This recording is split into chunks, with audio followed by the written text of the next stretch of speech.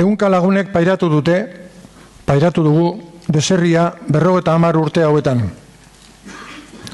Euskal Herriko historian askotan gertatu izan den bezalaxe, azken amarkadotan Euskal Herritar askok utzi behar izan du bere etxea, errepresioaren eta torturaren atzaparetatik iesi.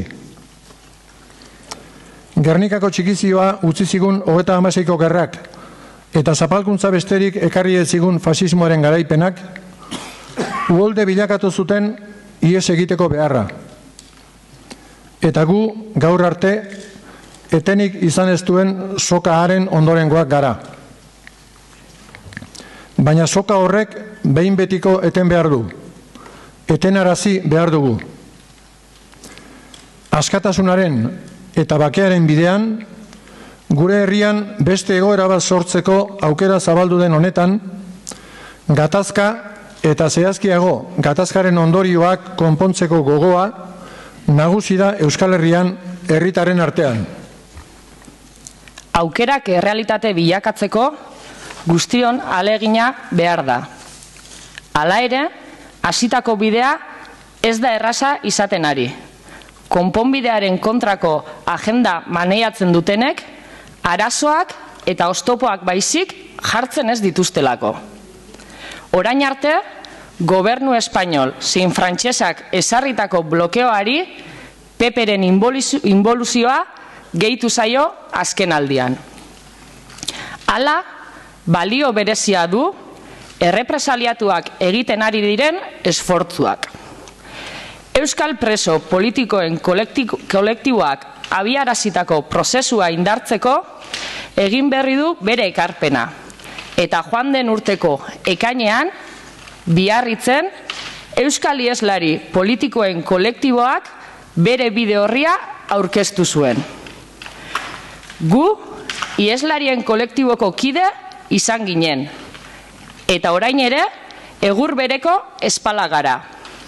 Izan ginelako gara. Horregatik, aurkezpenaren unetik beretik ohartu ginen, bide horri horren garrantziaz. Gatazkaren konponbidearen baitan, etxerako bideari hasiera eman baitzi zaion. Egin beharreko lanean, Euskal Ieslai politikoen kolektiboak izan ditzakeen muga eta oztopoei aurre hartuz, azken Ieslaria etxeratu arte, babesa eta laguntza ematera gatoz.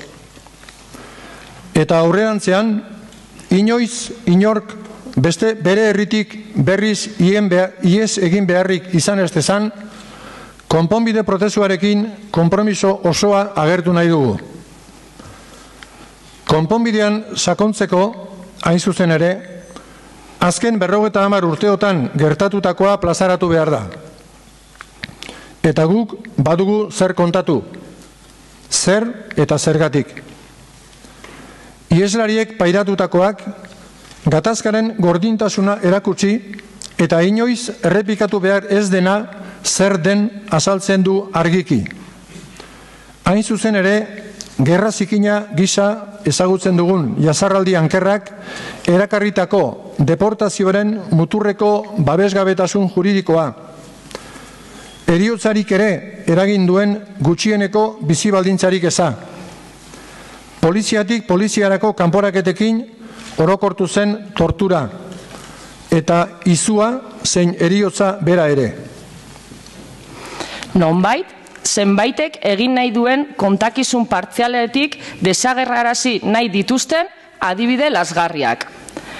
Guk, ordea, ez dugu beldurrik gertatutako guztiari begiratzeko. Ez da erantzunkizunak aitortzeko ere. Ez dugu ahatik, iraganean kateaturik gelditzeko asmorik. Gure seme alabei, gure bilobei, etorkizuna zor diegu. Guztion eskubideak bermatuko dituen Euskal Herri libre batean. Horixe izango da gure garaipena. Galtzaierik, mendekurik eta erreminik gabeko garaipena. Horren bestez, testigantza eskaintzera gatoz. Eta esan bezala, oraindik ieslari diren lagunak etxera itzultzeko hartutako bidean laguntzera. Oraintxe behar baitute guztion sustengua. Horregatik, eragile ezberdinekin, miarritzen aurkeztuiko bide horriaren lanketa egiten ari dira eta ari gara, urratsez urrats gauzatu ahal izateko. Babesa, konpromisoak eta adostasunak bultzatu behar ditugu honetan ere, konponbidea atzera ezina egiteko. Bada, edonola ere, protagonista nagusi bat. Herria. Herria baita hasitako bidea erraztu dezakeena. Konponbidea eta konponbidearen atal bakoitza bururaino eraman ahal izateko berme bakarra. Herri aktibaziotik etorriko da geroa. Herria dugu arnasa.